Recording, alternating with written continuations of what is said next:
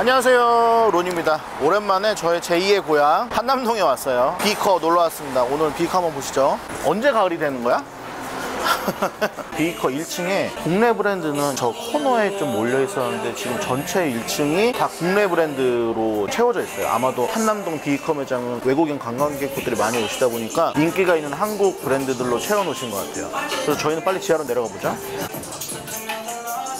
나나미카 요 기본 옥스포드 셔츠들. 근데 나나미카 옥스포드 셔츠는 면 백이 아닐 거야. 나일론 55, 면 45 그래서 나일론 느낌이 좀 더 강한 굉장히 단단한 소재. 아, 그렇다고 뭐 딱딱 하진 않아요 외부의 충격에 강할 것 같은 tech 소재로 되어 있는 셔츠입니다 저는 블루 컬러로 갖고 있는데 베이지 컬러로 되어 있는 패딩 셔츠 자켓이고요 요거 활용도가 엄청 좋아요 셔츠 자켓도 요새 자주 나오는데 약간 블루종처럼 밑에 이렇게 string으로 조절할 수 있는 fit 변형이 가능한 셔츠형 홑겹 자켓입니다. 이게 올해 컬러인가 보다. 베이지랑 네이비. 어, 네이비 같은 거 남자분도 엄청 잘 입을 수 있을 것 같은데요? 나나미카가 요즘에는 엄청 다 크게 나오기 때문에 직접 입어보시고 사셔야 돼요. 디자인마다 좀 다르긴 한데 제가 large를 입어도 얼추 맞거든요. medium을 사실 입을 수도 있고 large 입으면 낙낙하고 제가 X-large 입으면 오버사이즈. 일반적인 체형 가지신 분들은 medium이나 small 그 정도에서 움직이셔도 충분한 사이즈감을 갖고 있습니다. 비커 오리지널 어, 딱 봐도 칼하트 work 자켓 오마주 제품인데 비커만의 디테일로 이렇게 변형을 했네요. 소재도 약간 독특하고 데님 같은 소재에다가 코듀로이로 주머니 입구 부분이랑 카라 부분 이렇게 해줘서 귀엽게 입을 수 있는 자켓인 것 같습니다. 컬러 조합이 되게 이쁜 것 같아요. 마일드하고 한국 사람들 취향을 고려한 디자인이 아닌가 싶습니다. 이 그래픽은 호불호가 갈리긴 하는데 앞에 보시면 절개 디테일이 들어간 맨투맨 디자인인데 사실 소재는 면티입니다. 도톰한 면티라서 가을철에 긴 팔은 입고 싶은데 아직까지 날씨가 그렇게 춥지 않고 약간 더운 기가 남아있을 때 입으실 수 있는 그런 티인 것 같아요. 그리고 굉장히 oversize로 나와 있네요. 가을철에 아우터 대신 이런 후드티 많이 입으실 텐데 주머니가 굉장히 디테일에 신경을 많이 썼어요. 기본적인 멜란지 후드 zip-up보다 조금 특이한 제품 찾으신다고 하면 은 이 정도 디테일 들어가 있는 제품도 괜찮을 것 같습니다.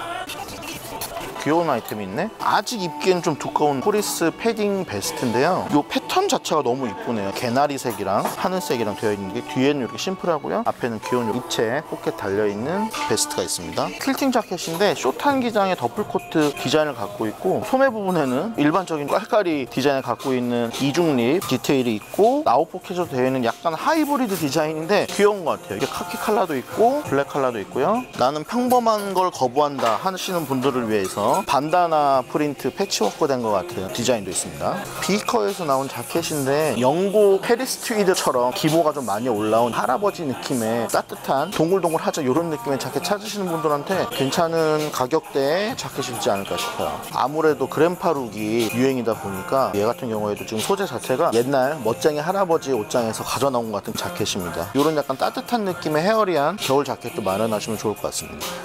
아톤이 들어와 있네. 개인적으로 마음에 드는 걸 발견해서 얘는 실라지 제품인데 딱 실라지스러운 실루엣을 가진 sweat 팬츠인 것 같아요. 저한테 기장이 길긴 한데 밑에 기장 같은 경우도 cut-off 되어 있는 데끼 디테일로 되어 있고 뒤편 앞편으로다가 주름이 많이 가 있는 굉장히 wide한 fit의 sweat 팬츠입니다. 이런 거 같은 경우 위에 약간 tailored한 아이템들이랑 mix and match하면 은 멋있게 입을 수 있을 것 같아요. 돔 레벨이라는 브랜드인데 딱 grandpa core에 어울리는 그런 가디건 같지 않아요? 젊게 사시는 할아버지가 뿔테 안경 같은 거 딱 쓰고서 이런 가디건 같은 거 입을 것 같은데 어떠신가요? 이런 식으로 니트 hoodie도 있습니다. 곳곳에 이렇게 hand stitch 나져 있고 멋스럽게 짜임이 되어 있어서 grandpa core로 원하시는 분들한테 딱인 아이템 아닌가 싶습니다. 어, 이 브랜드 너무 귀여운데? 티셔츠 그래픽 봐봐 어쩔 건데 hand drawing으로 된 이런 어 뒤에도 너무 귀엽다.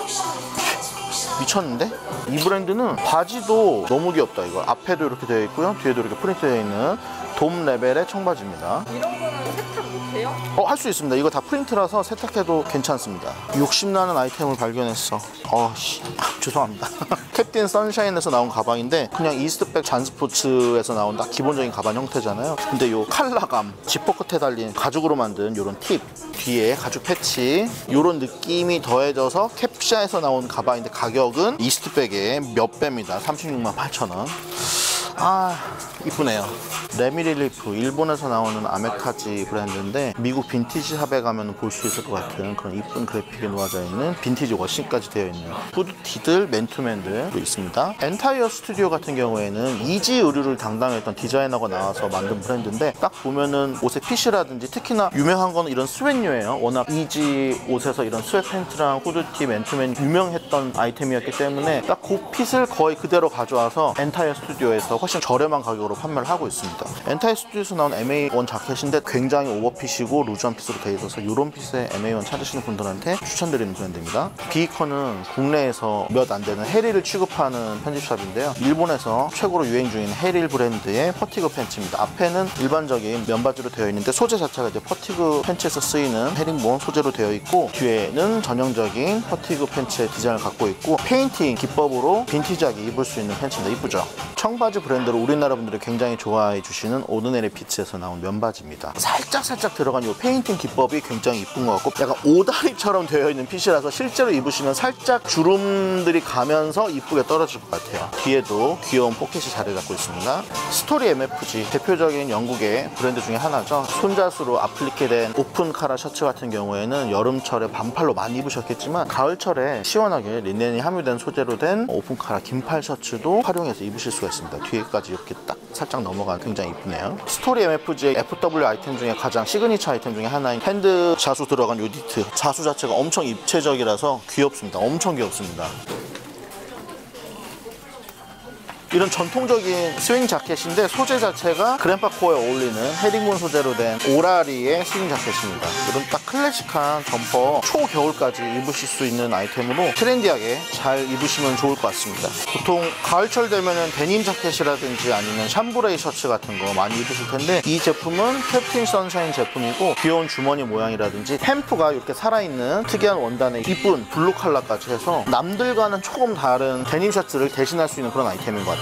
코모리 제품인데 같은 소재로 된 셔츠와 바지 setup입니다. 이런 looking을 좋아하시는 분들은 이렇게 같은 소재로 위아래 setup해서 입어주셔도 멋있을 것 같아요. 중간중간에 다른 느낌의 아이템 섞어서 사용해주시면 참 멋있게 입을 수 있을 것 같습니다. 코모리에서 나온 사파리 자켓인데요. 일반 사파리 자켓의 그런 두터운 소재가 아니고 딱 셔츠 소재로 만들어진 가벼운 느낌의 사파리 소재라서 초가을에 입으시기 딱 좋을 것 같아요. 이런 흰색 반바지 같은 거랑 약간 matching을 해주시면 셔츠처럼 입으실 수가 있죠. 아주 이쁜 그린 컬러 감의 카미엘 포트겐스 제품인데요. 카미엘 포트겐스는 니트라도 디테일들이 이렇게 끝에를 마감을 처리를 대- 제대로 안 한 거라든지 뒤에 보면은 라벨에 이렇게 스티치를 이대로 남겨놓는다든지 이거 그대로 세탁소 맡기시면 세탁소 아저씨가 그냥 딱 잘라버리는 수가 있어요. 이런 특이한 디테일들이 특징인 제품입니다. 뭔가 집에서 패턴을 잘 모르는 사람이 만들었을 것 같은 그런 옷.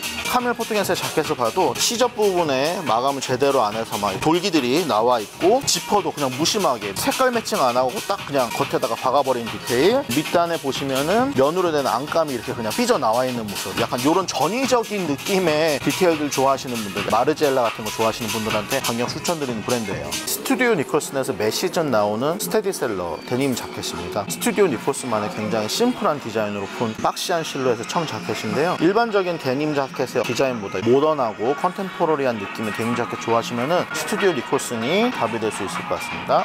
브랜드 6397에서 나온 초호 자켓인데요. 작년에 나왔던 초호 자켓 중에 제가 프라다 자켓이 최고의 자켓이었다고 인스타에서 개인적으로 들었었는데 그에 버금가는 느낌을 주는 굉장히 멋있는 초호 자켓입니다. 워싱도 너무 이쁘게 빠져 있고 배색으로 쓰인 카라의 이 코팅진의 느낌으로 번떡번떡거리게 코팅된 이 느낌의 contrast도 굉장히 좋아서 이번 FW까지 카라 자켓들을 아마 많이들 입으실 텐데 아직까지 초호 자켓을 구입 못하신 분이 계신다면 6397 추천드립니다. 같은 브랜드 6397에서 나온 tailored 자켓인데요. 귀엽귀엽 한 카라 모양이랑 밑단 굴림 모양이 너무 귀엽죠. 약간은 중성적인 느낌의 귀여운 자켓 원하시는 분들 6397 꼭 확인해 주세요. 비거 건가 봐. 반다나 프린트가 되어 있는 이렇게 퀼팅 자켓인데요. 이런 collarless한 반다나 자켓 좋아하시는 분들한테 굉장히 합리적인 가격으로 합리적이라고 하면 원래 브랜드가 있는 비즈빔에서 나오는 것보다 합리적이라는 말씀입니다. 6분의 1, 7분의 1 정도 가격으로 구입하실 수 있는 반다나 프린트 퀼팅 자켓이 있습니다. 오, 반다나 프린트가 옷으로 입기 부담스러우시다 하는 분들은 스카프로 포인트를 주셔도 괜찮을 것 같아요. 이렇게 겉보면 반다나가 보이게 착용을 하셔도 되고 뒤집어서 털이 보이게 착용하셔도 되는 그런 아이템인 것 같습니다. 오늘 저희가 한남동에 있는 비이커 매장 빠르게 둘러봤는데요. 2024년 FW 트렌드 어떻게 좀 읽으셨나요? 저희가 소개시켜드린 신상들 많은 도움이 되셨기를 바라고요. 오늘 저희가 준비한 내용 재밌으셨다면 구독과 좋아요, 알림 설정까지 부탁드리겠습니다. 안녕!